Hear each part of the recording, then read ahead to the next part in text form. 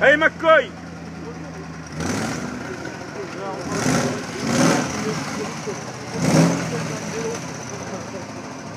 ah, tout à l'heure il est monté euh, plus violent.